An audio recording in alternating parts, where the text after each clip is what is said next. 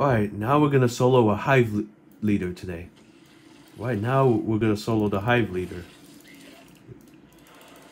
This guy is also still quite easy to take out if you know how to kill him properly. If you use your heal... If you... And there you go.